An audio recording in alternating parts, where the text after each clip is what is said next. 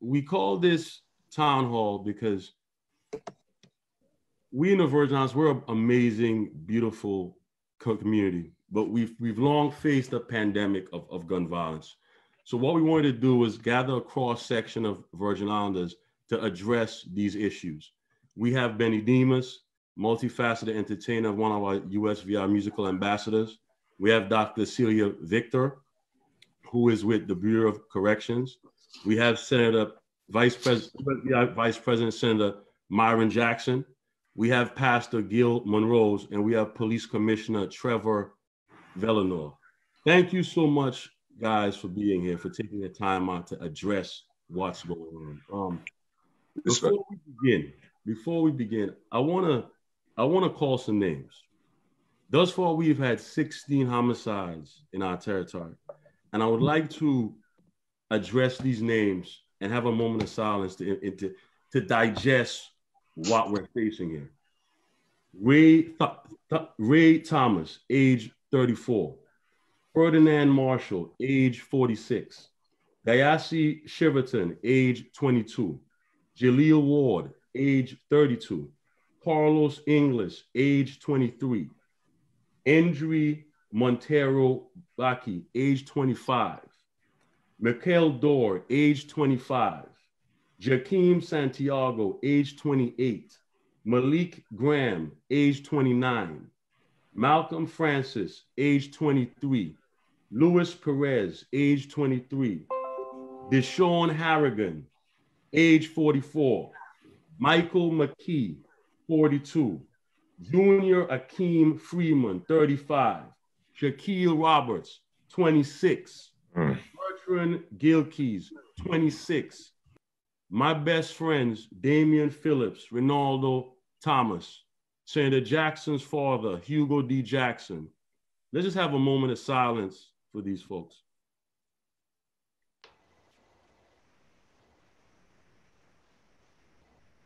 When I read those names, they can't just be names. We've had five homicides in one week in St. Thomas alone. Um, we have two young people here, Kerwin Williams and Lisa James, Alicia James. We wanted to hear from you guys. Kerwin, we're going to give you the floor because you are the future, which is indeed the future. You come from the Thomasville, Bovoni area. What do you think growing up as a young Virgin Islander is, is, is the root of this, is, is causing this? Um, good afternoon, good afternoon. Thanks for having me. For me and my personal experience, I feel as if like the root of this negativity, I was I would say it begins with the adults, the ones that's older than us, the ones that was here before us, you know, because we was once young. We have we look up to those people and see what they're doing, and then we feel as if that's cool or we have to be like that or anything about that. As far as I'm concerned, I never look up to those type of people because I have a father, I have a mother, and I see the things they're doing and I compare it to the things that the mm-hmm. outside people are doing. And I and I choose on base of what I want my life to be. So if I see if I see something negative and not and not all things, not all things that people do is negative. But if I see something that's pertaining really negative and I can see that my life is not going to level up into that type of situation, then I'm I'm gonna not do it. I look at things like recreational stuff because that's that's kind of negative. Because for example, if I see a swing set with no swings, what what are the children gonna play on? They're gonna go out about, they're gonna run out about. If I see courts that's not refurbished, that's not, you know, not not not playable, not not to be played upon, like it's gonna have a bunch of negative stuff. You're gonna have groups of people not even playing on the basketball court, but doing all the other kind of stuff that's not even like right. You're, you're a junior in college right now in Monroe College. What what life changing experience moving from St. Thomas to mm. to where you're at now? What do you think was one of the drastic differences where you saw okay? We may be missing a key element that's fostering success on the mainland as opposed to growing up on St. Thomas? I would see the opportunities. as my first time in New York, um, I'm going through college. I could see why people want to leave the Virgin Islands, and not just for New York, but just to just the whole mainland. There's opportunities up there that I feel that the Virgin Islands not doesn't really give out to the youths, but gives out. But in the mainland, they really they really like care about the the youth and like they try to uphold those kind of things. Like for instance, like jobs. There's a like if I compare the jobs up there, especially the like how much money they make at minimum wage compared to the Virgin Islands, it's it's uncomparable. So I kind of see why people want to go to the states and build a career. You know, that's that's my opinion. Alicia, what do you think? I think it's a culture of violence and lack of opportunities in St. Thomas, and they should have more strategies that address the structural problems in the family and the community. Hmm. Benny, we grew up in Freedom Hall, and for yeah. me to listen to these young people, maybe what 20 years removed from when we were growing up, that sense of we're a beautiful place. I, I always believe that that God stopped when He was creating our islands literally. How, how is it these pockets of despair exist? Because Benny, you've traveled the world with Akon, you've made your imprint. What would and, and you speak on how you speak on the things that you got involved in and what kind of caused you to go down that path per se?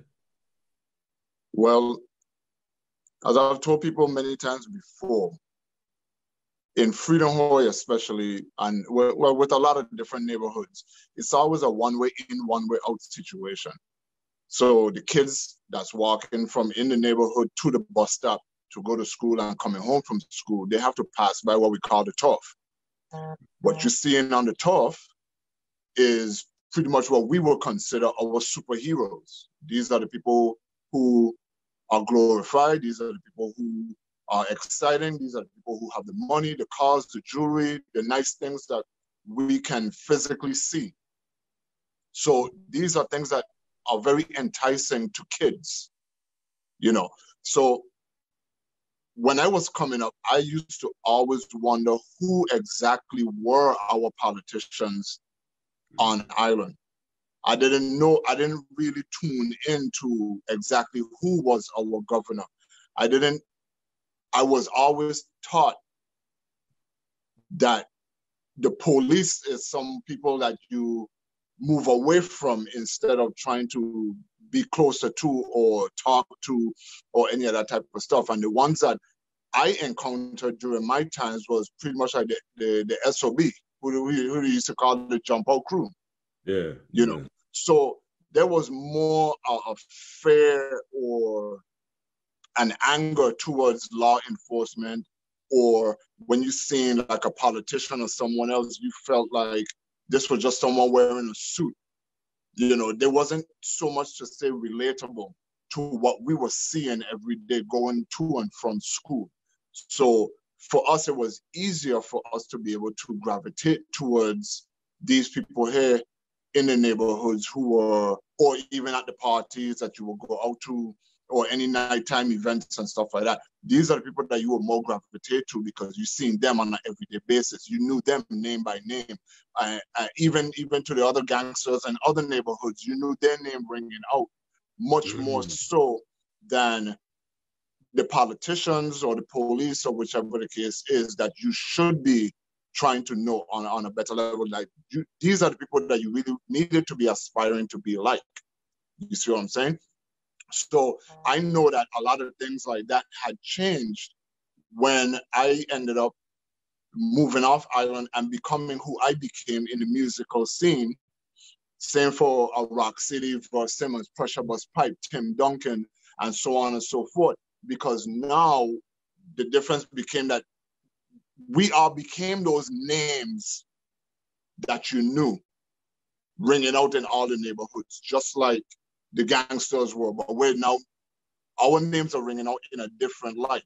So now you're seeing a shift came where people started gravitating towards what we were doing okay. so much so. You know what I mean? As far as musically, now you have a, a lot more musicians. You have more people trying to um, get into sports because now they're seeing the dreams that okay, you can be a Tim Duncan or Raja Bell or Janelle Saro or Calvert White. You could be like them and play professionally wherever you go. You know what I'm saying? So we have to really take initiative as being the older folks now, as Colin was saying, and we have to really start implementing ourselves much more into the into the neighborhoods and the communities because if we allow the kids in the in the communities to only see that one perspective it's always going to be lost. And that's what was happening to me. I only seen that one perspective for the longest time while i was coming up. And eventually i had to make a conscious decision to try to implement change in that. And it's, it's interesting you say that because in the Virgin Islands, right, we are not only isolated politically, but geographically. So what I'm hearing here from a lot of, from Kerwin, from you, Benny, is that our kids are is lacking a, a bridge to see an alternative idea of success. Because in a in a space that's people in the hood, people, people desperate, you, you're gravitating to what's tangible wealth. Dr. Victor, how does this, in a sense, economic and educational disenfranchisement affect the mental well-being of our young men? That because you know, depression is something that, that is exhibited through tears or busting a gun. Depression and rage is, is, is linked. So how do you see on the mental health well-being of these young men? Where does that come into play, doctor? She's muted. She's muted. Un- unmute yourself. She's okay. Can you hear me now? Yes, we okay. okay. Um, I think when I listen to Kerwin and Lisa, um, they kind of laid it out for me. Um, first of all, it's called experiences. Adult, I mean, individ- the individuals that you called out, the, the, the deceased, who have passed away due to gang violence or violence in general, I heard the age ranges, but they didn't get to be young adults by themselves. They were once children. And so when you start out in middle school, kindergarten, um, high school, experiences shape who you are.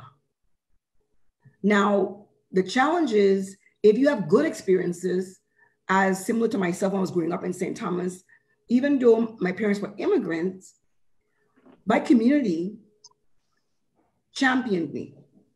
Mm. Um, Benny just mentioned something very clear, which I like what he said. He said, when we was growing up, I didn't know who the governor was, even though I know the governor's name. Mm. In, in, in, our, in our eyes as children, the principal was the governor. Your neighbor was the governor. Um, your pastor was the governor. And so I remember we used to, you know, we used to do the Pledge of Allegiance we would have to stand up and sing the national anthem of the VI. Um, that became a sense of pride. So even if you didn't have, it was a collective consciousness. And so the science shows that the reason why individuals end up with violence is because of adverse childhood experiences. These experiences could be something simple as having a, a parent that's abu- abusive verbally or physically, could be a parent or a, a guardian that's neglectful. These experiences, if you get them over and over again, they're enforced. So the people you trust are no longer your family. You're trusting the person that's going to give you hope. Now, that might be the person on the corner that person may give you opportunities or say, you know what, have five dollars, get some food, or you know what, you need a cell phone. Let me see how I can hook you up. So youth begin to gravitate to people or individuals who they feel will give them a sense of relief. And so I think that that is part of it, knowing your history, knowing who you are, because growing up, we understood the importance of Black history, Caribbean history. Um, and even though we had influences, like, you know, we had people who still, you know, we had, we still had guys who were arrested. My little brother was always in trouble, but Miss Conti, Miss Lynch would deal with he. That's about mine. So I think when you have teachers who are like family. And I think now with teachers struggling right now to pay their student loan, their mortgages, they have more than one jobs. A lot of stu- teachers may not have time to have after school programs and be a part and stay and tell the students, stay afterward. Let me go over algebra and geometry and reading and writing with you. So a lot of youths in, in the Virgin Islands, their mathematical scores usually are not on point. Their reading skills are not on point. And what I challenge them is you are tomorrow's historians. You are tomorrow's leaders. And so the, the conversation, I will turn it back over to you, but that is my initial thinking. We have to combat these adverse effects, and we're not going to combat them by one person. It's going to be, it's, it's going to take a community effort and having families be empowered to understand what parenting means and the role of parents and how they, how they integrate with the community and the community knowing what their roles are and how they can contribute to empowering the use of the Virgin Islands. Mm. That is what I have to say at this time. Pastor, Pastor Rose. Yes, sir. Historically, the church has been a haven of opportunity, of refuge. We're gonna we're gonna directly say this. I've always wondered, Pastor, in every disenfranchised area in, in the US, where, wherever you go, there are tons of churches. But every Sunday, right outside the corners, there's bloodshed, there's pain. Where do you see the church's role in this new contemporary society that's saying, folks, you got to get out the pews and go mingle and touch the people? Where do you see the faith community, the faith leaders historically finally addressing this issue from the grassroots ground level? Yeah, and uh, thank you so much, Peter, and everyone on the panel too, as well, and to everyone in the Virgin Islands and wherever you're listening.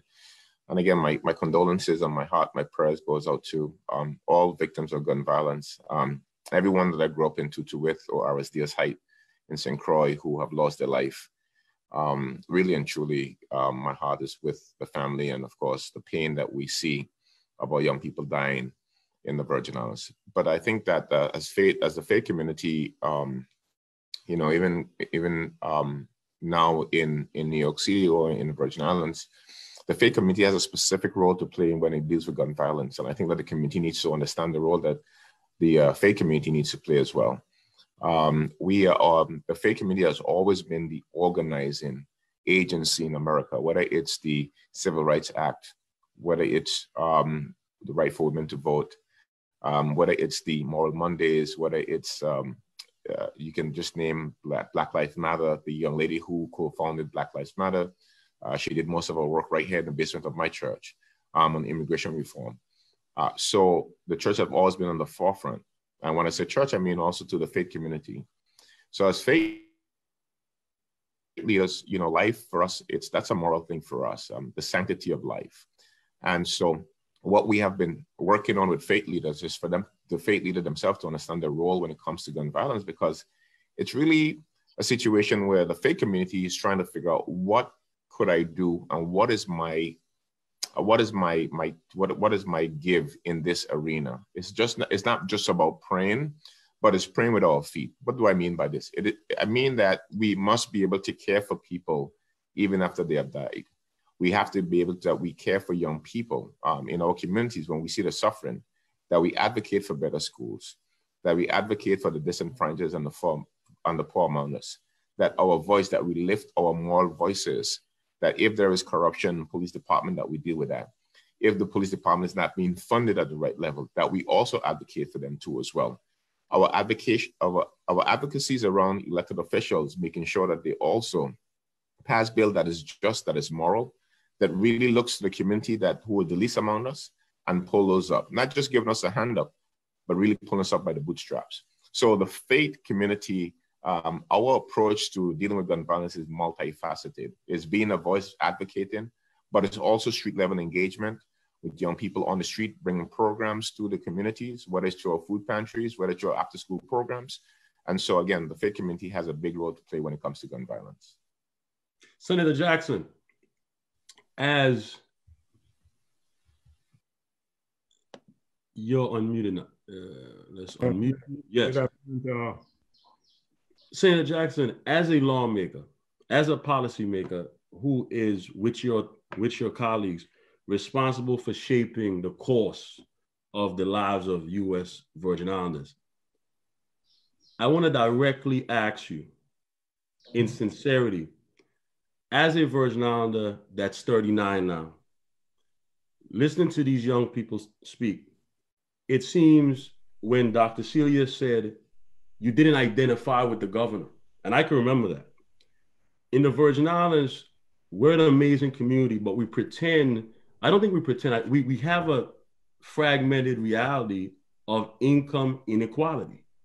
When we hear young people say, well, the governor, the senator, in my cubbyhole, in my corner of Bavonia or Frydenhoj or Ross Valley or Tutu, these people were like figments of my imagination. As a lawmaker, how essential is it for you to draw this community in instead of as a segment saying, hey, we're not included. We're not included in the resources. So because of that, I wake up every day as a young man, these communities, I'm frustrated. I have no opportunity. So every day is repeating like a sad dream. So it means I don't mind shooting you because I don't like my life already.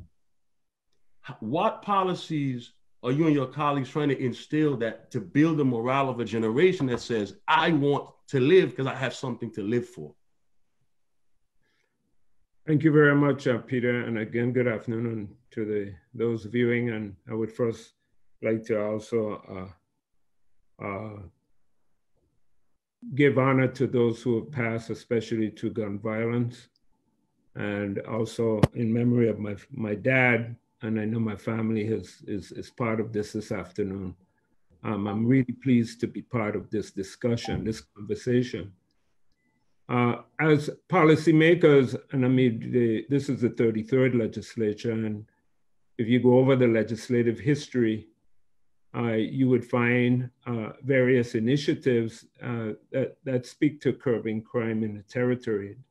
The inequities in terms of uh, equality, in terms of our ability to teach our children and to give them a sense of identity and belonging and what it means to be part of a community has changed drastically over the decades. Dr. Victor spoke to when she came here as a child with parents who were immigrants and was embraced by a community. That sense of belonging has been lost and efforts uh, in the, through legislative mandate, uh, through education initiatives and, and also uh, recreational initiatives. We've moved from um, really strong neighborhood community centers. I was a product, I'm a product of hospital ground. I live in hospital ground. As a child, I went to uh, the Winston Raymo Center after school, and it was my haven for my summer. And today we have parents who question about sending their children to that same center because of gun violence and their activities around it. You have individuals who have decided that they do not want to come into the community and communities uh, throughout the territory to include, uh, I'm, I'm speaking uh, comprehensive. So there are many pieces of legislation that have attempted to address, like for example, early childhood education that we need to start at a very early age uh, from cradle to grave. The passage of legislation to afford Virgin Islanders the opportunity for higher education free at the University of the Virgin Islands. That was one of the most recent pieces of legislation. Uh, the funding to nonprofit organizations. Uh, the last legislature, we got criticized for uh, putting monies into nonprofit organizations that these were our, our um, pet projects, so to speak.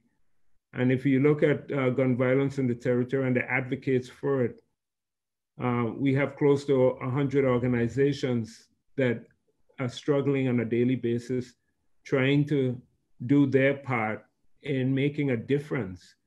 And when we make policy to, to provide funding, and of course, that is depending on what is available and how those resources are allocated. Um, it requires a community conversation for all of us.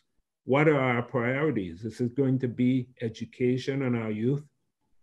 Are we going to make sure that they know their history and they're engaged culturally in terms of their identity? And I believe if we do um, work in these particular areas, they'll have a stronger sense of identity and, and a sense of belonging and a sense of community and a sense of their existence that God has created them to, to fulfill their lives, not to take someone else's life.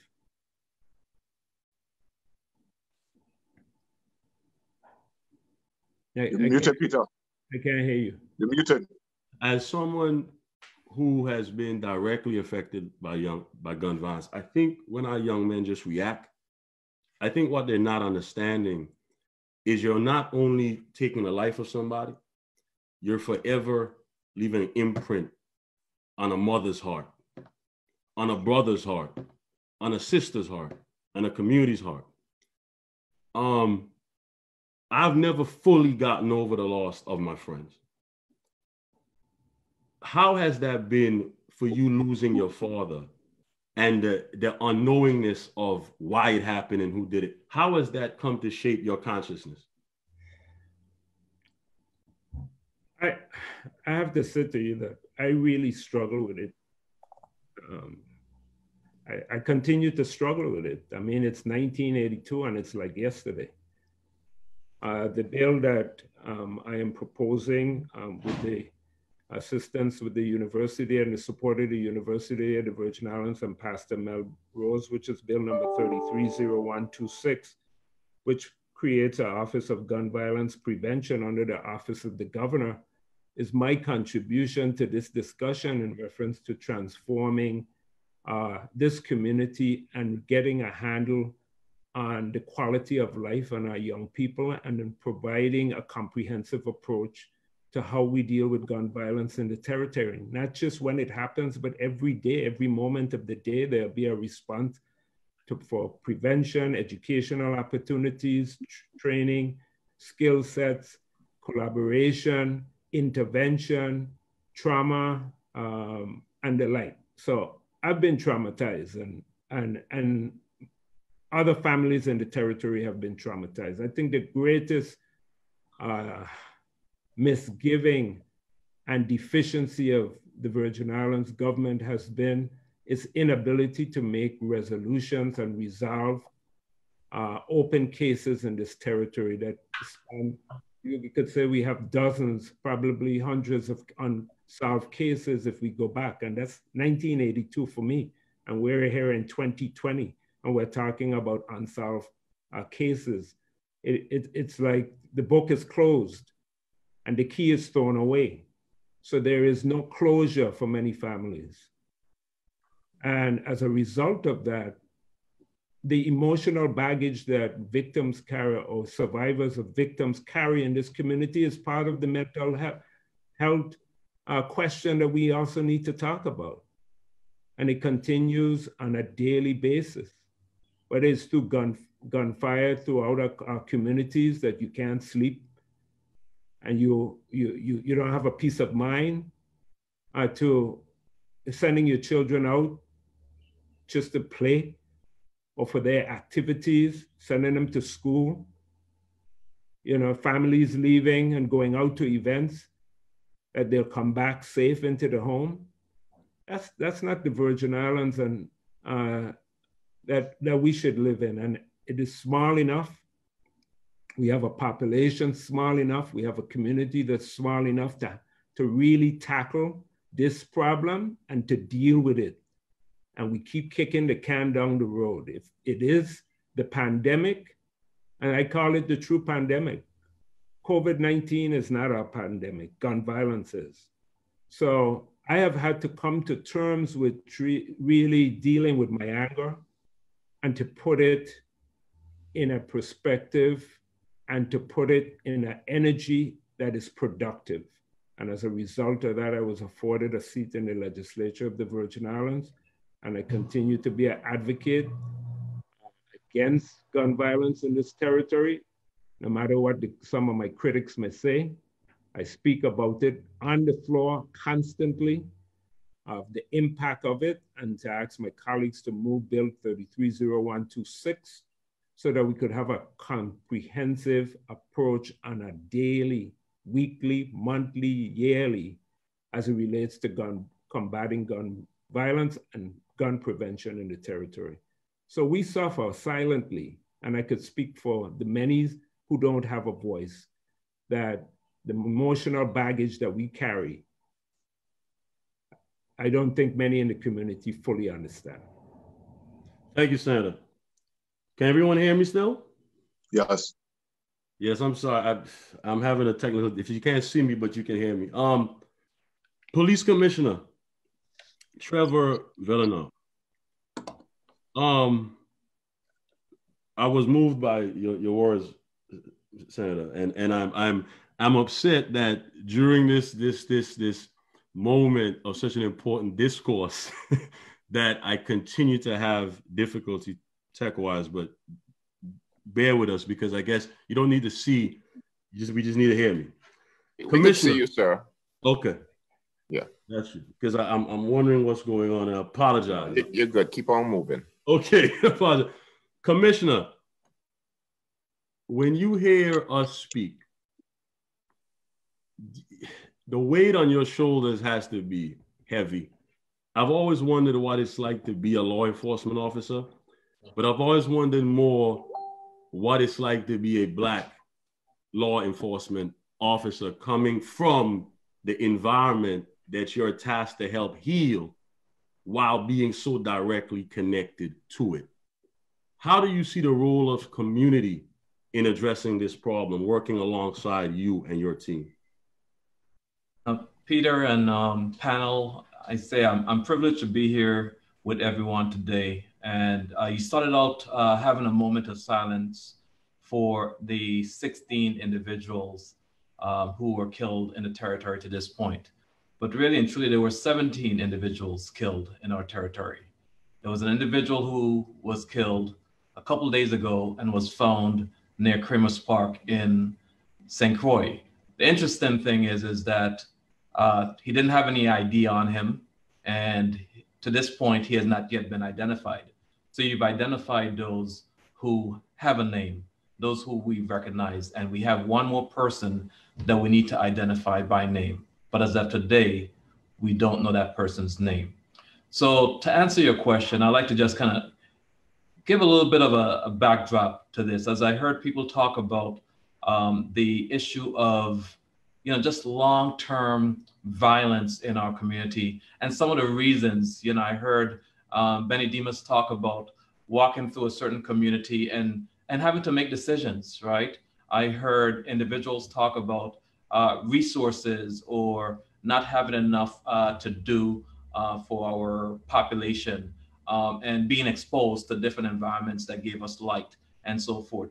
So, as an African American, a Black man who is in law enforcement, particularly in these territory of the Virgin Islands, the mass amount of bodies that we see are reflection of me. There are people who look like me. There are people who are essentially my family members. There are people who have the same names oftentimes that I can relate to. Somehow we're connected in some kind of a way. When we look at our last name or the environment that they're killed, last night there was a shooting incident in Harbour View. Again, that's the community that I came from. That's the community that raised me. And as Dr. Connor talked, Dr. Victor talked about, you know, um, coming up uh, to parents from elsewhere and yet being impacted by a community. Those are things that we talk about, right? Is how we can make an impact. So in law enforcement, I don't see a me or us against you or them. Truly, from my perspective, we're one small community where really and truly there's not a distinction that I find.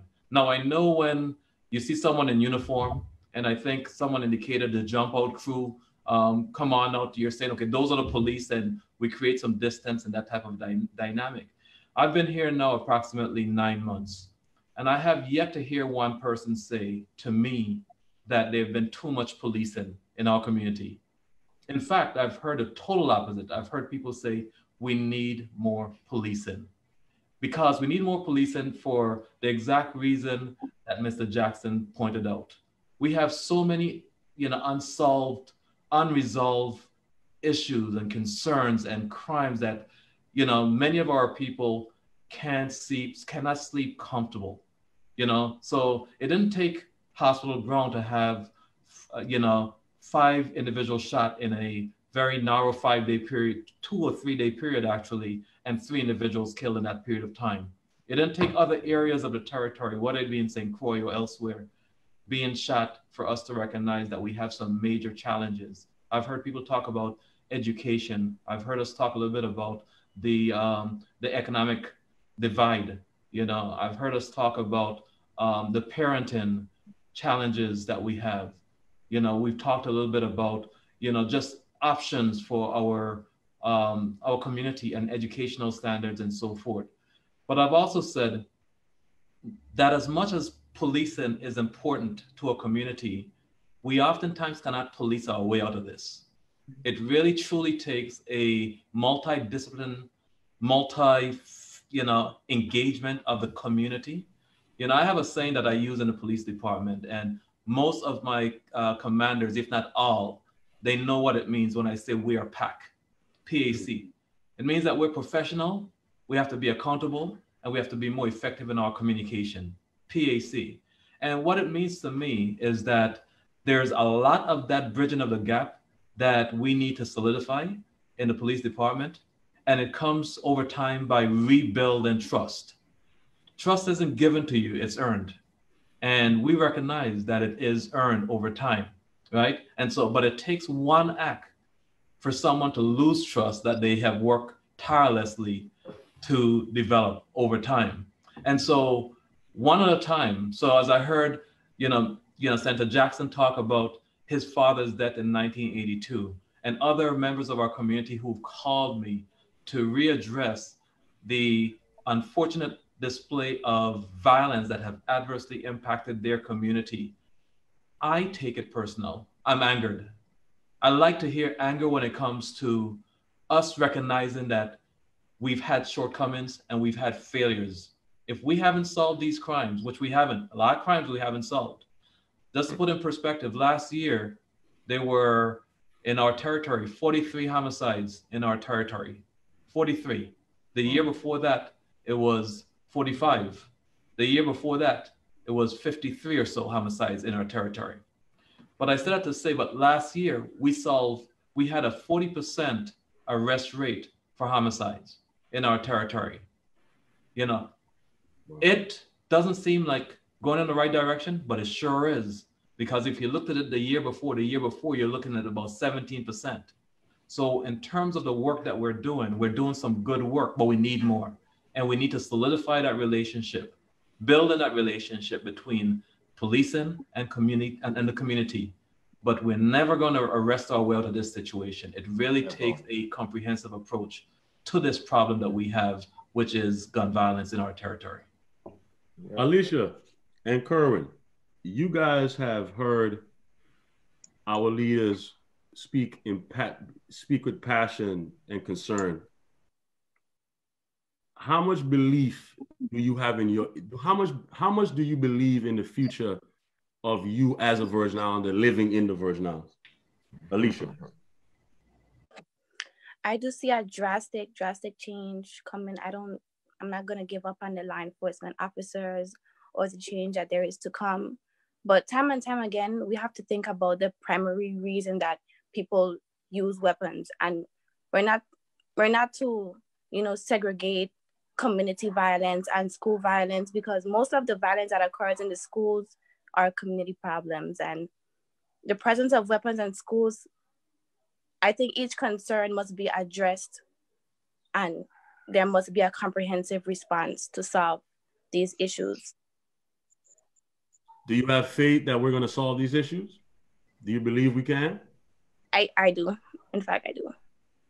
Kerwin what do you feel um, on my perspective, I feel that the Virgin Islands, especially with the younger generation, has a lot of talent.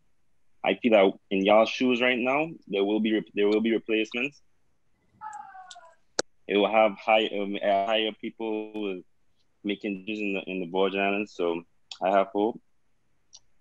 Because I never expected it. I thought the first thing when I graduated from high school, I thought I was going straight to the army, but then I felt that I was following my parents. So in a sense, I feel that there's different callings for people, but it's like they're not listening to it right now. So, but I do sense that there will be a better time, a better days for the Virgin Island people. We're gonna move to accept some questions from our audience, and I must say, I must say, um, I have a question from someone very, very, very special and very, very dear to me. And that person is none other than my mother, my 76 year old mother, Anita Bailey, who was a retired nurse um, at the hospital. And I remember growing up, and she always she would come home crying sometimes because she said, "I'm tired of seeing these young men come home in the emergency room, bloody and dead and, and shot and gone." So she asks, "What advice can you guys give to a mother or a father to help them protect their children from gun violence?" Secondly, should a parent in some way be held accountable for the misbehavior and the deviance of their child? Senator, you, you want to address that?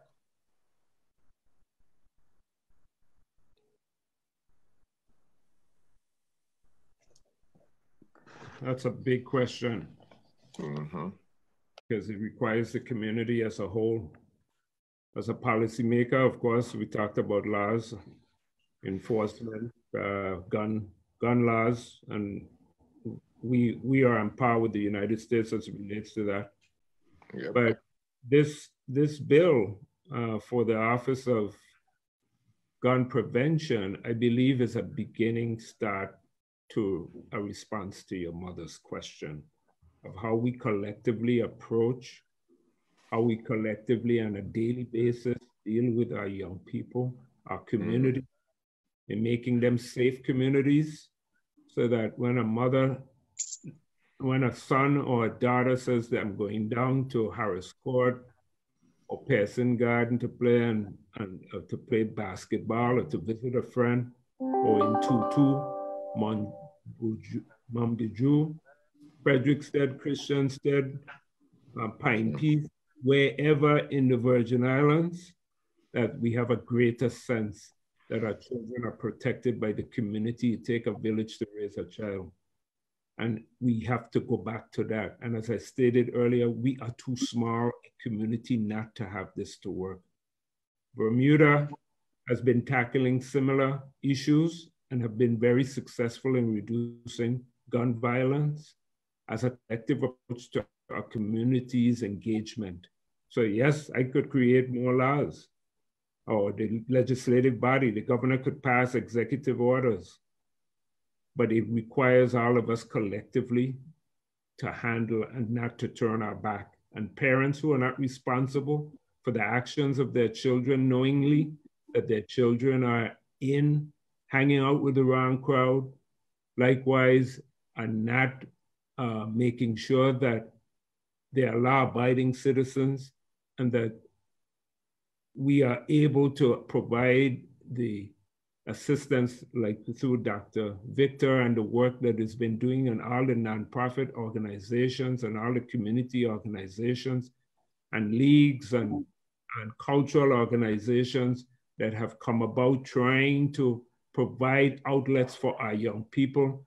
And the little league games, when you go to them and you don't see the parents on the bleachers supporting the little leaguers, and, and likewise, when you go to parent, uh, the, the, the, PTA meetings and the parents are absent, it's all collectively we, all are we. All are we, all are we. Police Commissioner Velinor, we have a question from Sierra Burke, Cara Burke. I'm going to make sure I get her, her pronunciation right, of, T, of TV2. She says, and I've always wondered this too, um, Miss Burke. I've always wondered this too.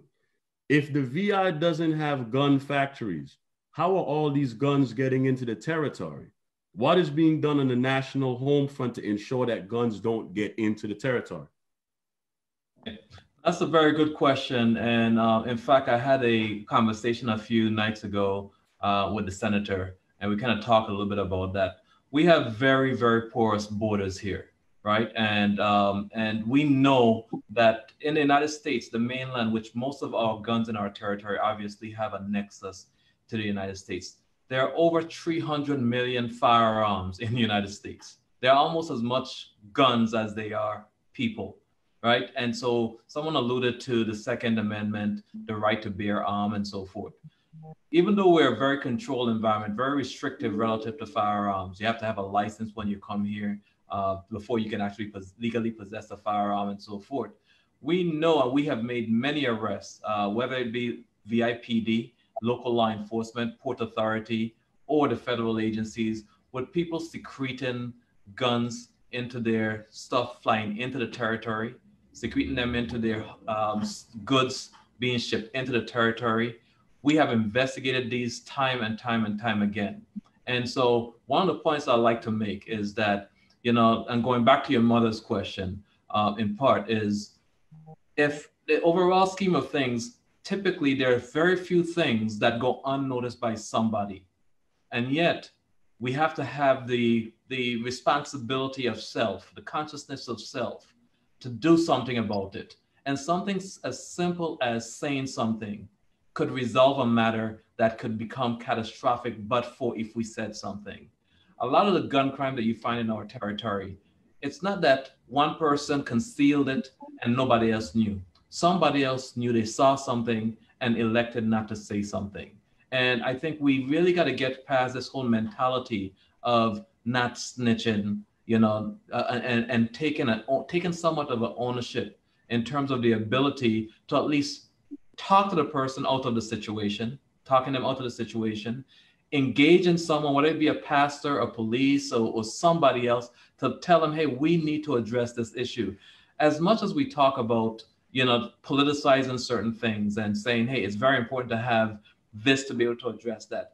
Most of the impact that the Black community has had in every community has really been grassroots. It didn't take laws for us to execute and do the things that we need to do to safeguard our community, right? And so it really took us being responsible citizens, responsible members of our community, you know, that made certain tough decisions, which was call out on calling out our folks who are falling short. And and loving them yet doing the responsible thing by encouraging them and holding them accountable right? And again as it relates to the parenting i think that's so so important. And the senator pointed out the whole issue of folks not coming out in certain environments and supporting their very own children right and so if you're not supporting your children a lot of times as they grow you're not even exposed to the things that they're having access to to include firearms. These firearms are secreted in, in, in parents' homes quite frequently. People are leaving their homes to go to events to utilize these firearms. So, yes, as much as I would like to say that there is a big movement from a national perspective to to curb the the gun trafficking and gun flow in all communities, I will say whether it be the Virgin Islands or elsewhere, we've obviously fallen short as a society, as a community, I don't care where you are, you've seen the, the adverse impact of gun violence. And it's been because people have possessed these firearms irresponsibly. You know, and I, I like to say this uh, to, to kind of bring this home. I was in Orlando that fateful day in early summer when you had the Pulse nightclub shooting. Folks, I saw carnage that I did never I never thought that I would have seen even as a law enforcement officer. Yes, I've seen a couple bodies, you know, whatnot, but to see that amount of bodies of just potential laying there that was in some cases not yet tapped and those individuals were were killed by again gun violence. You know so yes it's a big picture. A, it's no one answer to it to the question of the gun flow. As much as we trace these firearms and try to investigate them, uh, you know, and so forth, we do recognize that again our borders are so porous and they're coming in here. But when they're here you know we can do something about it quite frequently. We can hold our colleagues our neighbors our sons our daughters accountable and redirect them with a little bit of mentorship. I'm going to open this question up to everybody this next question. I'm going to let you benny um, pastor Monrose and the young people and dr celia um, this question keeps coming up. So it's a lot of people have asked this question. Um, basically, music, our culture, the music our kids listen to, this new culture of hip hop, this new culture of gangster music. I remember growing up, and although we are geographically removed from, say, Watts, where Menace II Society was filmed, from Brooklyn, where Biggie Smalls is from, because of the climate of disenfranchisement income inequality, a lot of our kids in the urban areas just gravitated to that content. I remember me and my junior high school friends formed a group named Strapped, trying to mimic the life of Ice T. Um, Benny, as an entertainer, is the onus, is the music and that content, is that is, is that the corrupting factor of our kids? Or we need to fix the social conditioning, the social environment that's giving that content life. Is it, you know, is it, is the egg coming for the chicken? Is it the music that's corrupting our kids, or is it we need to fix these issues, or these young men won't have to rap about killing each other? Well, 100%, I would say no, it's not the music that's creating the issues. I, when I created my music, and my music had a lot of violence in it, my music was pertaining to the violence that I seen around myself and in my communities. That's mm-hmm. what I spoke about. I didn't need Compton or Watts or Brooklyn to do any. I, I don't know about any of those places. I'm not from any of those places. I have Frydenhoj and Round the Field and Tonky and yeah. Savan and I have those things to be able to talk about. I don't need mm-hmm. any of them other states, cities, mm-hmm. or boroughs for me to be able to talk about a violent issue, right? So once again, as the, the previous question, when they asked about how how are the guns getting into the island because we don't make the boats, planes, we don't manufacture the guns, but they're getting there. So if it's like a child, if you give a child a toy, more than likely the child is going to play with the toy. So if you give these kids these weapons, more than likely they're going to use the weapons because that's what they have in their hand to be able to play with and, and move around with. I'll give a quick mm. story. Some years ago, I came down to St. Thomas for the um, Summer Men's Basketball League, which was being held over at BCB. Now, before I entered into the gym, a uniformed, keep in mind now, no name, but a uniformed police officer stopped me before I went inside and pulled me to the side so he could speak to me. Now the officer said, Benny, I'm coming to you with this situation because I think you're the man for this. At that time, he was speaking about the Tonky area. He said there was a lot of violence that was going on in the Tonky area, and he found it to be um, expressive to tell me that he thinks it would make sense for me to go into the community to have a conversation with the people of that community to hold down the violence. Reason being is because, of course, him being a police officer, there's a very big disconnect with the police and the streets. Me being in entertainment and now being who I am, I have more of a connect with these people, along with having to connect with the law enforcement. I fall right in the middle. So he found it in need to tell me that he feels I should go into the community to talk to the people up there to hold on the violence, the gun violence that was going on, because he said, I mind you now, I'm telling you straight from what was being told to me from a uniformed police officer. He said, hmm. they are not going into that community because in their minds, that's complete suicide. And why is it suicide? Is because they are they have a, a Glock 9 or whichever it is that the, the police use on their hip, in which holds 12, 14 maybe shots. But these people in these communities are holding two-handed assault rifles. So for them, and the way, of course, the way Tonkia is designed, it's uh, building up in the air and looking down to the road type situation. So they themselves don't want to drive in to the community because they feel that would be suicide for them. But here they are feeling like, but Benny, it's cool if you go in there because they respect you and they'll have a conversation with you. So again, when I spoke earlier, there is this disconnect with the police and the people in the streets. There's a disconnect with our government officials and the people in the streets we have to figure out once again the root of the problem. It's not just going to, I'm not just going to say it's the people in the communities. The root of the problem is how are these things getting into our territory? Hmm. As the commissioner said, the borders are not as good as we could have them. right? So we have to figure that out. This isn't to put a blame on the commissioner because he's just there about nine months now although he grew up in the community, so he knows, he sees, he's been involved with what's happening in our communities. He has some sense of it. Same thing for Senator Jackson. He comes from the community, so he knows and grew up on what we would sometimes say is our culture, sad to say, right? But we have to be able to get to the root of the problem, and we can't always blame the street guy or the street the street people for the violence that's happening in our communities. And another thing that people don't address, well, many times they don't address, is the mental issues that come into these situations, the PTSD. It's always okay for a police officer in America to, to shoot an unarmed black and they get to go home with paid leave because of their PTSD. But what about the impact of the people in the communities? What about the children that seen someone get shot? I've seen many people get shot.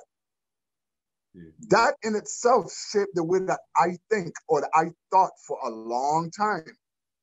Hmm. Now it took for me to be for my mother to remove me from the situation after she found out that I was involved in a situation. She removed me from St. Thomas, sent me away to where I could be in a different environment. I was able to be exposed to something new and different. So again, these are another set of issues that we don't address in the virginals, the mental health issues, the PTSD that people in the communities are dealing with, the way that they feel, the way that they react to certain issues. You know, Senator Jackson himself could be a, a, a victim of that because of what happened to his father. Indeed. But as you see, at some point he decided and said, you know what, I'm going to stray away from going in this direction and I'm going to go into the political direction. But that had to come with some form of education. He had to remove himself from being on island, go away, learn something new, like myself, seeing the world and being able to come back and implement that into the islands or implement that into the communities. Mm. As, as, a product of Tonkia, I would like to speak on this too as well. Um, grew, up on, grew, up in uh, building building eight. Um, listen, I, I I never realized how dangerous like my childhood was, hmm. like back then. Like you know, Tonkie playing basketball in Bovoni, um, you know, um, Ras Valley, Tonkie, wherever you you know we had balls, um, Al McBean and what have you. But listen, the police department can only do so much when it comes to guns, and so I, I would like to talk about the fact that we want to be able to build um, a, a, support system in place that we don't want to blame anyone. I, I know that parents, that some of them doing the very best, especially uh, single parent um, moms. We see them all the time in our churches, and our, you know we we support them. We have people who are in gangs, um, or crews, or cliques, or criminal enterprises uh, within our congregations um, across the board. Uh, or someone knows someone, or someone has a brother, or some situation. But one of the things that we have to create in the Virgin Islands is that we got to kill the appetite to use a gun. Because I tell you that there's a lot of guns. I mean, when I was growing up, I, I definitely saw guns and to, to hold held guns, guns were just like anything else, but coming on cruise ships or wherever they're coming on. But we have to create a, a culture, a new culture in the Virgin Islands that tells a young man that if you are a young lady, if you have a culture or if you have a lifestyle, whether it's hip hop or whatever you believe it is, that is going to get you killed, then that lifestyle is no good for you. Whatever it is, whatever the lifestyle is, whether you think it's true music or what have you, calling ladies B's and, and H's and what have you, calling, you know, men the N word and what have you. So whatever lifestyle that you are practicing that is going to get you killed, it's not a good lifestyle. And so we support the police department, but I want to tell you that the police department can't take all the guns off the street in in in in any major city. Um, so one of the things that we have to do, we have to create a culture that if a young person have a gun, that we want to give them opportunities that they don't use the gun. And you know, I did my first funeral in New York. A young man got killed, um, you know, one block away on the same block of my church. And so I had about 300 young people in the church after the service done. I was walking through, guys were smoking or what have you. We don't tell people in our work in Brooklyn or or definitely in the work in the Virgin Islands that you need to leave the gangs. That that is not a, that statement doesn't make sense. But what we do to them is that we want to give them a job that they work so hard that they're so tired that they can't hang out on the street, right? Um, and one of the things he said to me is that, do you have a job for me? I said, put down the gun, you know, do something constructive with your life. And he was like, do you have a job for me? At that time, I didn't have an answer, but we do have an answer now. So what I would say to about the gun situation is that the commissioner of the police department can do as much as they can do. But on the back end, we need to create a community that when people have a gun in their hand or in their house, they will choose not to use it. And that's what my focus is on in the Virgin Islands, creating that new culture that if you have a, a Glock or a machine gun, that you will not use it. That was so powerful, Pastor. Kerwin and Alicia, the, the, the content, the musical content. You know, we always hear people say, "Man, what these young people?" I thought you were going to ask them if they know if they ever saw a gun or they know where to get a gun. Yeah, yeah, but, but exactly. It's it's it's. I'm I'm I'm I'm I'm gearing it to. We always there's this generational divide where we say, "Man, these young people are they scary? Are they going crazy?" Kerwin and Alicia, at least how have we become more violent? Is hmm. the content and the material you guys are seeing now at your age making you more aggressive or it's always been there and we weren't paying attention? no, I would like to I would like to address that that question. It is definitely not the music. Because I like that question, like it was I felt like it was so it was so directed to music. I'm like an open-minded person, you know. So if you talk about the music, you're gonna talk. I want you to talk about the movies you watch. I want you to talk about the gameplay. I want I want to hear that. I want to hear the music because everything is a business, you know. So if this if this topic is making me money and this movie is making me money, because just like everybody else, I'm gonna go on Netflix. I'm gonna watch a movie and whatever content it is, that's the content I'm gonna watch. Um, parents bring their children to movies with that same content, so it's like music is far from it. So I don't really want to hear that. I feel like what I like what Pastor said and what Benny said is the is basically the the opposite of using a weapon. You feel me? Because like, for example, if someone walks in my home, right? Someone just walks in my home. I'm listening to I'm listening to you guys. I'm like, I shouldn't have a gun, but this guy has a gun. How am I going to protect myself? You know, because a gun because people because guns don't kill people. It's people kill people. You know, so it's like you have to you have to understand like music is just definitely not not it. Because in a sense, I have to defend myself in some situations. There, there's people who likes to hunt animals just for like the sport of it. It's just mm-hmm. the, it's like the mental side about it, you know. So the music is basically a reflection of what's going on. Like Benny said, basically we got to fix the social conditions that's inspiring this type of content. Alicia, Peter, what- uh, Peter, sorry, I just wanted to, clarification. You said that guns don't kill people; people kill people.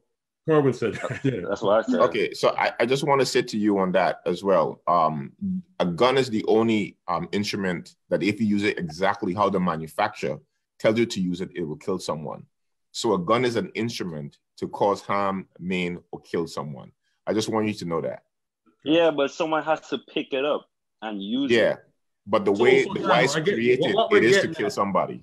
Kerwin, what we're getting at, and I think Ben, you understood what I was saying we're at this fork in the road, right?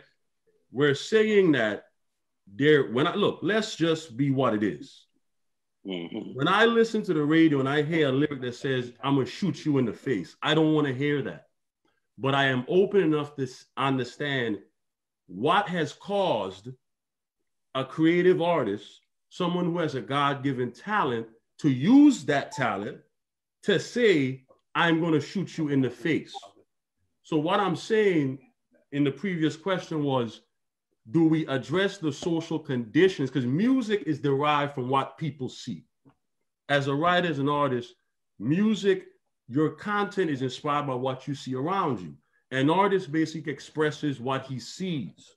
So the question is, what comes before? Is it the social conditionings that's causing this content, or is the content causing these issues?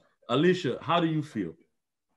I personally feel as an upcoming artist that it's not just the music, but to be honest, I I feel like it has some kind of influence. Some rappers and artists write about gun prevention, and some rap about their hurt as to why they feel the need to engage in street shootings and what's not music can serve as a form of influence, but I feel as a young person myself, they thrive to put, portray the lifestyle of the rappers and artists that they look up to. It might not be good content. So I'm not saying the music promotes violence. I'm not saying that's the root cause of it, but it's not going to stop bad behavior or poor social outcomes. It's not. Gotcha. That's my Dr. take on Victor, we, we, we spoke, we're speaking a lot about the trauma uh-huh. And like Benny said, like everyone said, somebody could have a, a, a, knife. A knife can be used to peel a mango and enjoy that sweet fruit, or it could be used to stab somebody to death. Why are our young men choosing to use these tools for what they're using it for, which is to end life? Mute. You're on mute. Okay. Hello? Yes. Okay. So I asked this question, the same question you asked, I asked the question to a couple of youths that I, I know. And the first answer was the lack of empathy of life, the lack of sacredness of life. That was one of the answers. Um, and these are 20 year olds, 19 year olds. The lack of values. What do you value? Because that's the bottom line. I mean, music is an expression of your experiences. And as I said earlier, if you grow up in, a, in an environment where you see a lot of stress, toxic stress, violence, okay, whether in the home or outside, okay, you are going to tend to continue to harden that behavior. You're going to start looking and hanging out with people who believe what you believe. Um, and so we need to look at the root cause is what do you value? What is our community of the Virgin Islands value? What is our what are our parents' value? Back to what your mom asked. Um, does a parent have a responsibility? Yes, they do. Because when you're two and three and four, your initial imp- impression is based on the caregivers that take care of you. Um, so if your mother and father are are being violent and expressing themselves or, or communicating to to aggression, you're to think that the way to communicate is through aggression. That's the bottom line. Um, if you see, if you learn that there's another way to have a difference of opinion besides force, and you know you're gonna you're gonna have an argument. And I think that that is to educate young people from the beginning. I know that I heard I've been listening to um, the commissioner about the gun. That's the that's the that's the that's the outcome at the end. Yes. That's when someone has, for example, you grew up in a, in a community that looks at violence, you look at how you're going to protect yourself. Your coping mechanism is a knife, a gun, whatever you have, because you want to protect yourself. So your whole body is on a fight or flight response. And usually your body is supposed to be in fight or flight if something is coming against you. But after a while, your body's always going to be in a fight or flight because you're going to always feel your back is against the wall. You're going to always feel, I got to look at my back. And that is what you have that PTSD, toxic stress that a lot of youths or young people grow up. So until you find a mentor, until you find a teacher or a pastor, someone that says, whoa, hmm. there's another way. we are a brother's keeper. What does that mean? I begin to engage with youths. I asked the youths as well, what do you think the problem is? They said communication. Our parents don't listen to us, hmm. and we just listen to our peers. So they expressed that to me, and I said, communicate in what way? They said, when young people have bottled up feelings and emotions, whether school, on the tough, they just feel to go to their room, put their earphones on, shut out. And that's how they're gonna cope. And they said it's a responsibility for the parent to come to us, not be afraid of the answer they're gonna get. Um, and I think that that is part of it. What do you value? Do you value life? Everybody hurts. Everybody bleeds. So, what do you want the community to look like? Because the way I think about it, I told them that if you can create a VI, what would it be like? Because that's what, that's what I think about the end game. Um, and they kind of said where everybody have a place, everybody have opportunity, whether it's education, the arts, everybody had a place they can be heard. They have schools and playgrounds and places to go to learn to swim, play ball that look clean, that look inviting for them to go. You know, having opportunities. Um, and so I think with your mom, parent parenting is key. Mentorship is key. Mm-hmm. The key, faith is key. Mm-hmm. With God, all things apart. What is God to you? Because I asked my youth a question. Tell me about church. Well, we don't, you know, church, Dr. Victor Well, you know, that's a lot of hypocrites. Talk to me, because I want to hear what they have to say. Mm-hmm. Well, we look at church that we are not religious. We want to people to accept us for who we are. Pass nose, pass tongue, coming to come into the building with with, with, with, with, with, with my gear on and not be criticized. They'll be real with me. So, so these are the things that I think we need, to, we need to ask the youths more questions to begin to really look at what changed on the front end, the prevention, the mental wellness. If we don't have an adequate mental health system in the Virgin Islands, how dare we? Okay. Hmm. We're gonna take one final question, and I must say, this is um, I'm I've been sorry, I've been reading all the comments and reading all the comments, and I'm so inspired because I think one of what I think um, I'm moved by this discussion is to see the screen and a cross section of Virgin Islanders who have just taken their time out to address this, to care to say we are a family. And having said that, the final question comes from Luana Sue. Uh, I'm bad with pronouncing names.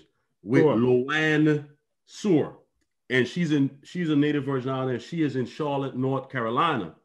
And on the topic of you know our young people having access to exposure, access to constructive opportunities that could show them the way that can create a bridge to their dreams. Because we tell kids to dream, but if we don't bring them the dream and show them the dream, and it's not tangible, people can't imagine what they've never seen or experienced.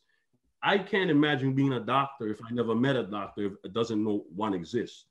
So she asks, what type of programs are being utilized for mentoring, trade and skills building, and esteem building for our young men?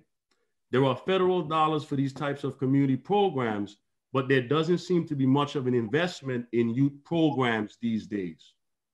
Police Commissioner um, or Senator Jackson, do you want to address that question?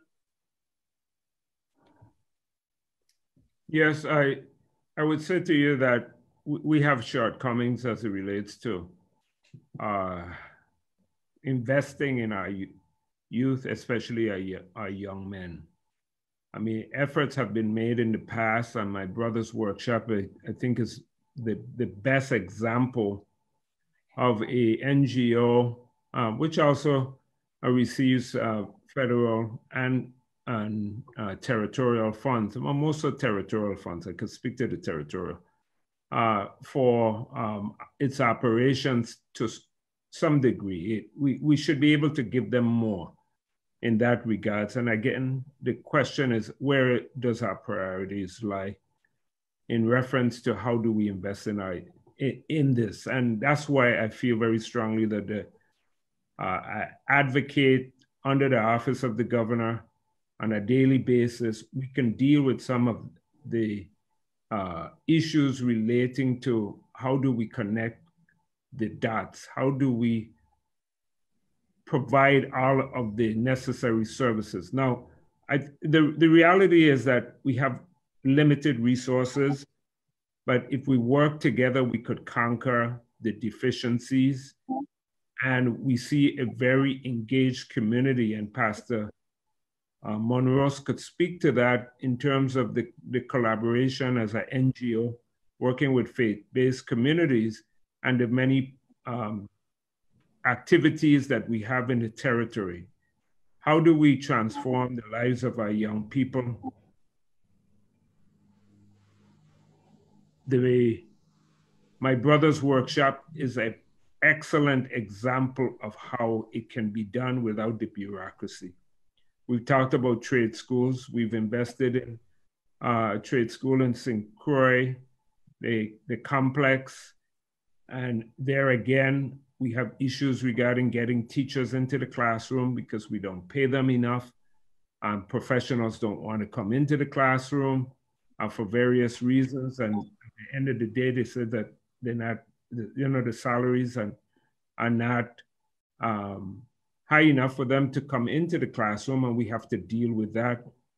We have um, activities through sports and providing uh, wellness and sporting activities that are recreational facilities uh, up to grade and that likewise the ability of our young people to compete and we you know baseball league softball league football soccer cricket and the like and i have to say to you that for a small territory we are remarkable in that we go around the world and we come back with all medals gold bronze and silver from this little community, and the same with arts and entertainment. Yeah. Without cultural centers that support them, we, we produce some of the finest musicians and artists and sportsmen and women. So we can do it with the limited resources and really focusing those resources in the right areas, we can do it. Police Commissioner, do you want to add something to that? Yeah, I'm just going to kind of reemphasize something that I heard Kerwin say earlier. Kerwin talked about passing by a park and seeing a swing, but there is no actual seat on the swing. So, therefore, with the lack of the ability for a child to sit and swing, the park is utilized for something other than its intended purpose, right? And so we see a lot of that in our territory.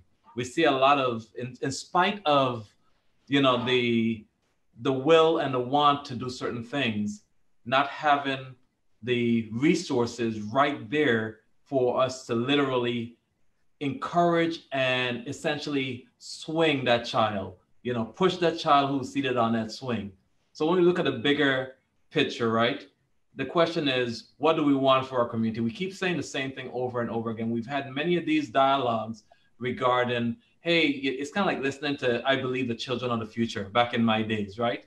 And you look for that opportunity for uh, the the these children, and you say, okay, well, who's given us that opportunity that we so badly want?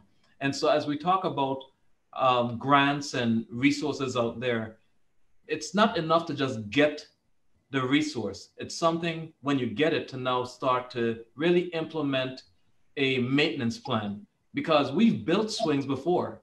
But now, what do we do about maintaining the swings, right?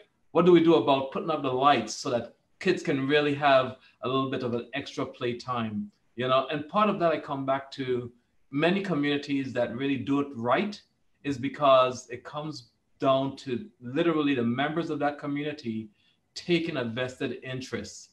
Those areas where you see, even in the territory, that are vibrant, that are doing very well, it's by and large because people invest in their community. They've taken a, a, an interest in doing some of the small things and talking to their neighbors and say, let's paint our block, one block at a time. And how that resonates. You know, how folks literally take the bull by the horn and start doing things for themselves. We recognize that we go to the government and we look to the government to do certain small, small things to allow us to grow. But like I told the senator when I was up in um, hospital ground the other day, I say, Governor, I'm, I'm sorry, Senator, I said, Senator, as much as the, the, the gunshots are rolling down here, and you haven't heard any for four or five days at that point, I said, really and truly, people in the community deserve not hearing gunshots. I said to him, it's so important that folks stand up and be counted. We all have a right to say to our neighbor, stop that, that's not right. And some of our neighbors, they would heed our, our guidance. Some of them won't. And, you know, so as I started out saying earlier in our conversation, in spite of the resources, we're not going to lock our way out of this process. But what we can do is forge that relationship. We can build that relationship between law enforcement, the faith community, and all the other community groups where we're having impact. So when I heard someone say, there's that swing without a seat, it's tantamount to having a basketball court, but nobody can play on the basketball court. So guess what? They're going to find another game. Hmm. There's another game to be played. Even in that basketball court, you're going to find someone's going to put a bench out there and they'll be doing something else. It might be shooting dice or some crazy mess, but then that's another problem that we have, right? It might be sitting there playing dominoes.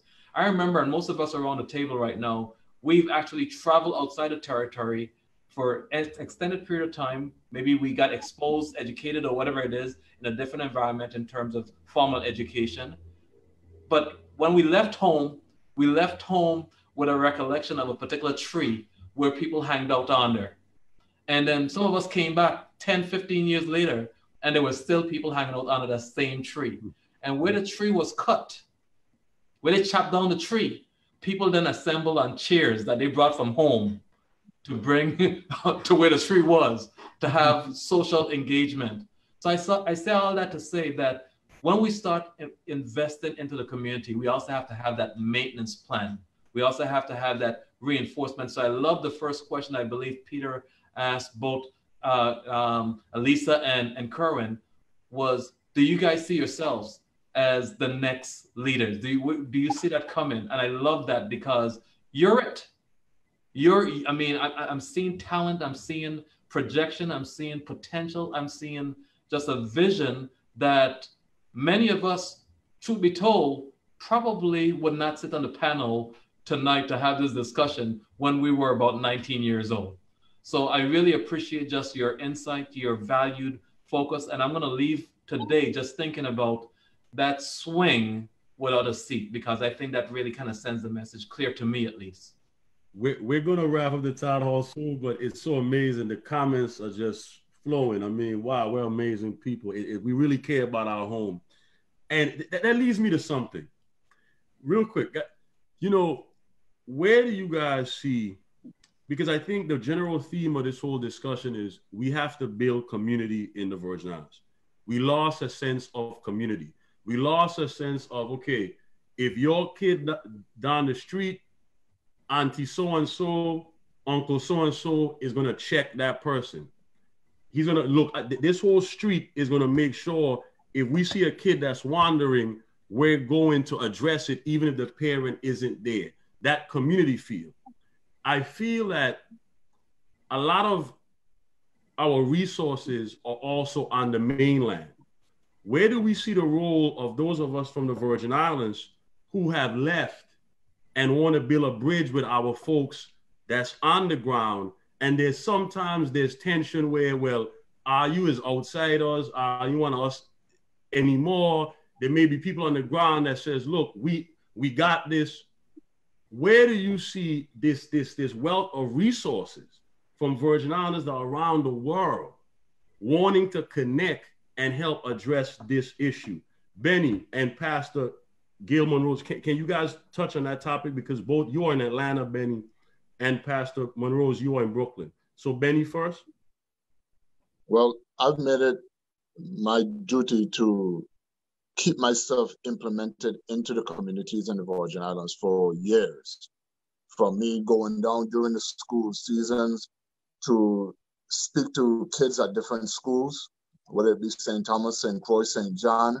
Uh, myself and Rock City had extensive times of performing at schools, and all this is for free and without assistance from or being asked to from anyone else.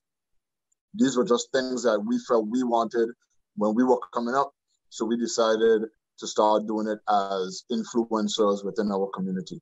So I always keep myself engaged with people, not just, I, I would always say, not just A and B students, but C, D, and F students need a lot of exposure. They need they need a lot of guidance, counseling. You know, all of them looking for something from someone. Mm. You know, a lot of the violence, like myself, I grew up without a father. Mm. So for me, I always looked to a male figure to be like that mentor for me, whether it was Austin Peterson at the Dorican School, whether it was Levi Farrell, my band teacher, you know, whether it was Louis Turnbull at Insomnia Nightclub, I just gravitated towards these people. These were like my mentors when I was coming up. Same thing for CB and Kubu, who just passed away, um, you know, for playing basketball and stuff like that. So I watched the things that they were doing within the community with us kids during those times. And I said, I wanted to make sure that I did my part once I became someone or had a voice within the community. So I always keep myself engaged within the community, which is that why you see I created the Benny Demus Carnival kickball game, which brings um, which brings people from all different walks of the Virgin Islands, St. Thomas, St. Croix, St. John. You have policemen, firemen, senators, uh, different community leaders, uh, you know, people who are popular on Facebook, just like the community likes. You see them all within one setting. Um, I was able to create that to, to give the, the community a sense of peace, a sense of urgent, a sense of we can all get along in some type of way within a game or within some type of a, a, an event. So that that's my take. I've always just wanted to make sure I kept myself in the communities and to be that bridge. You know, so Commissioner Velinor needs someone like me to be able to go around to the communities and speak the lingo or whatever the case may be.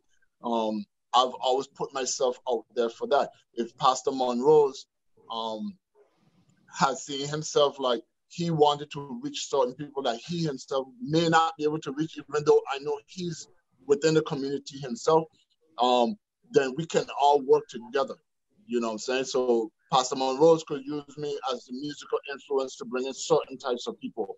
Um, the commissioner can help can, can use me to bring in certain types of people. Um, the senator can help can use me to bring certain types of people and bring that awareness to whatever it is that we're trying to implement to the youngsters. Pastor Monrose? Yeah, and I, am going to take you up on that uh, kickball tournament one time. I got you. I got you for next year. um, well, I haven't I haven't been to a carnival. I haven't been back during carnival time for like 20 years. Um, but but I want to say that we are the only society that I think of Caribbean country. I, I mean, I'm in Brooklyn and I travel, of course, and deal with so many different people that people celebrate the heritage, they celebrate people from where they're from. We we sometimes I feel like we're the only community that when you tell people, young people like like Lisa and Curran, go away, get educated, and come back and help. And then when you go away, get educated, and then you come back and say, well, okay, you from away, or it doesn't make sense to me. Jamaicans twice removed, three generation removed will always say that, that person is Jamaican.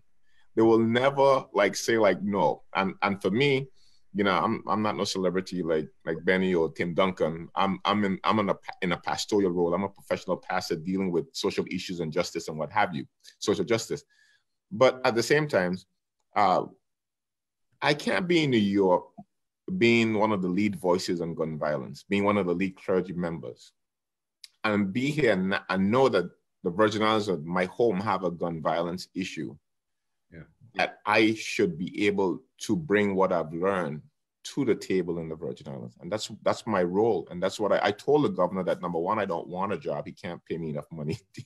right. number two, um, this is my calling. My calling is to help the police commission. My calling is to help the Virgin Islands. I want my mother, who's in the Virgin Islands, my sisters, my brothers, or businesses, or property, or church, to be able to thrive. I want my niece and nephew to be able to walk the street and come home safe. That's my that's my passion. That's my that's what I'm called to do. And so for me, my give back to the Virgin Islands is one thing, right? Let, my main one thing is that to help the Virgin Islands reduce the gun violence. And the way that I thought to be able to do that was to help write this bill that Senator Jackson is pushing in the in the Senate to create this office to, to prevent gun violence, to have a place that you can have all of the services into one area. That's what I'm doing here right now at this moment um, in Brooklyn, uh, leading the city um, in organizing clergy members as to how and training them as to how that they can work to reduce gun violence. So if I'm doing that successfully here in Brooklyn, I think that again, my give back is to come to the Virgin Islands and to come back and do that. So I've been coming back for seven years, training clergy specifically on their role and how to respond, how to prevent, how to deal with gun violence, how to deal with crews, gangs, how to support uh, parents who have lost their children to gun violence, how to support the parents, how to create these org- organizations and these help to help reduce the violence that we see in our community. So that's my give back to the Virgin Islands. Um, and I, that, again, that's my calling that God has given me. Uh, yes, Peter, yes. I just want to interject one second. My friend Rashida Francis. Yes. She just said, up to now, no one has mentioned how to incorporate those who have committed crimes or are at risk for committing crimes to be a part of the solution. Mm-hmm. Okay. So if anyone can speak to that, but I will say this I do know that many times within the community, after someone commits a crime or is known for committing crimes, even when they try to change their lives around, a lot of times people in the community still try to bash them. People still try to sway them away and say, oh, well, you're the type, you're the person that did this, this, and this, and not giving them an opportunity or a chance to be able to um yeah. you know get themselves back you know have a voice. back into the community or anything like that. So i mean if anybody could speak to that she's that's asking, a great that's a great insight benny indeed yeah. uh, unmute your mic doctor unmute, doctor just hit that button. There you go. Oh, there you go. Yeah. Um, actually, I can speak to that because I actually worked at Family Resource Center in a program called the Family Youth Intervention Program. It was a program um, sponsored by the Department of Human Services where I worked, and it was addressing you know high risk youths in the community, boys and girls, the rights the rites of passage for boys, um, the girls' rights of passage for girls, and we many times invited Ms. Dr. Emmanuel, myself, Mr. Lebo Olini, who's a Pan Africanism, invited some of the individuals in our community who had been to, to um, incarcerated and was coming home to share with the youths what their challenges were, what their, because I think that's important because they need to understand how did you get where you got? And I think sharing their stories allow the youth to say, okay, wait a minute, okay, I don't like school, but let me see why or what approach I should take. So I think that's important. That's number one. Number two, I was also a part of Gangs in Paradise.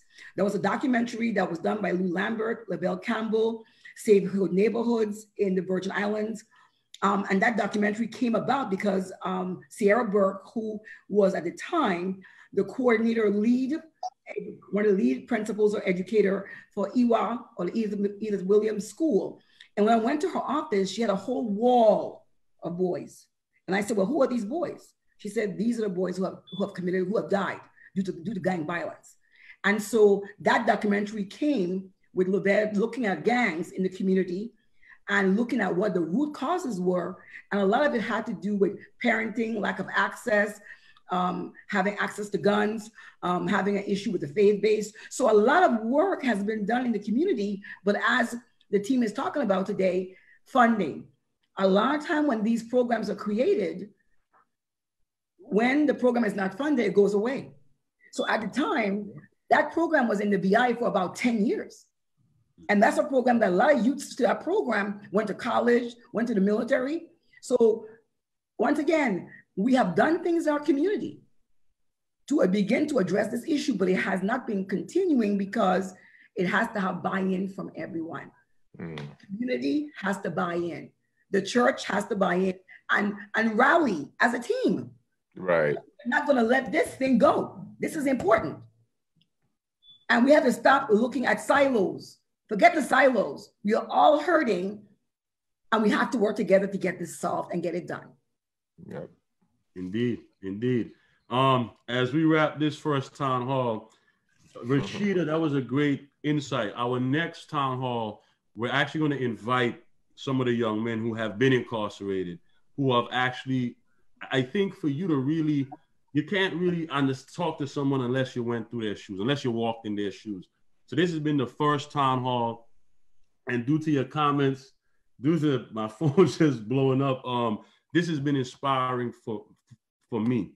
As we wrap this town hall, I want us to remember we're the only place in modern history to have survived two category five storms. We have already overcome the inconceivable. So this problem with gun violence is not, it's it's it's for us, it should be a walk in the park. We faced the worst storms history can muster. We put it, we put each other on our backs. We took care of each other as a community and we overcame that storm. As we as we overcome the COVID storm, we're gonna we, we have to work collectively to overcome this new storm. So I guess t- today's common theme, resounding theme is how do we get back to creating a community? How do we get back to those names of young men that I just called out are just not numbers? When you hear their names, when you see their mothers cry, you cry too as an extended Virgin Islands family. Mm-hmm. One of my best friends that passed away, Damien, who died, I remember was in Frydenhoj. And it was the year before I was about to go to college. And he said, You know, Pete, I know I'm gonna die right here. And I said, Why are you saying that, bro? He said, No, I know I'm gonna die right here. died right there in a shootout with police. And um, a stray dog found his body in the woods somewhere, I believe. Um, so I, as we close this out, I want everybody to go around the the the the, the forum, and and the question is shortly and succinct and profoundly. Each one of you, what is it in one graph? How does the Virgin Islands begin to get back to community? Dr. Mm. Victor? I would say taking the time out to look at look for your neighbor, knowing who your neighbor is, knowing where the kids are in your neighborhood, knowing what their needs are, and how you as a person can help them in a small way. That is that's the first step. Reaching out to where your community is and seeing what the needs are and trying to assist with other persons that you know in, in that space. Pastor Gilmore, Pastor Monrose. Yeah, I think that um, community means that we we are all part of the community. And I think we have to interject ourselves to see how we can get back into community. Mm-hmm. Um, community is just not a byproduct of they versus us, or I live in my own particular home. Community is that I want to make sure that my son can walk down the street and get back home safe. And so if I want him to walk the street to get back home safe, I expect that your son as well and your daughter should be able to walk down the street and get back home safe. Therefore, I need to do this not only for you, but for me. So I'm hoping that we can see it that way. Benny? Uh, communication and education. I would say not all, not everyone is able to learn in a classroom. Sometimes we have to go to where the kids are or where these people are. If that means in the community, in the bad community, on the turf, to have educational situations with them or conversations with them, then that's what's needed to be done. So um, communication and education, I would always say, is needed to to bring people together. Senator Jackson? I would say Sankofa. Hey! and uh, take the best that we have bring it to the present. Yes. Feel on it. Sanko. Police Commissioner Velinor. I'll just say again, each one teach one. Uh, we're all in this together. We have just amazing talents in the territory. I mean, I've seen folks from all different areas of our community that, you know, considering the odds were against them, nonetheless, they rise. And so I say just we just need to continue to teach each other and elevate each other. If we see something that's not right, we address the issue that's not right. Alicia? Okay, because sorry, you can hear me now? Yes. Okay, because of the mere fact that we can't, you know, discipline mental illness out of someone, I feel like we should address the needs of the youth in the different housing communities and address their mental wellness as a whole. And the one and only Kerwin. Say the best for last, right? Kerwin, what's your thoughts? Right. Um, I feel like you know you should be that that that mother, sister, that friend, that that person to you talk to. You be that that person too make that person a better person. Like just give them advice. Don't do this, don't do that. and I think that's how we'll get better. In other words, each one of us could be mentors. Um, as I said, this town hall series, you know, it's it's Dear USVI. I've always wanted to get. I'm a writer, so I've always wanted us to get back to the intimacy of writing letters, and I feel that this dialogue is meant to start a conversation you know, we like to talk in the in the Virgin We, we we love a good talk. We love a good chat. And I think what would be great if the, the topic of, of, of, of, of on everybody's mind is how do we stop this? How do we love each other? Um, so this is the first, this was the first town hall conversation. I truly apologize for the glitches in this, this tech space. I'm new to it, so please accept my apologies. Um, and I truly love everyone. I, I think this thing starts with love. My father died um, about a, September 3rd, about a year ago. And he, he, I always remember him dreaming and saying, son, we can create the society and the world we want. The reality that we choose to create is what's is more real than the one that's presented mm-hmm. to us. Because life is definitely a story. And if we don't right. write our story, others will write it for us. So, on that note, I appreciate everyone who has joined this first Town Hall Live. Um, I've been reading the comments, um, and it's wonderful to be, it's a great time to be a Virgin Islander. So, on that note, I love you all. Peace and prosperity. Thank you. Thank you all. Thank you very much. bless everybody.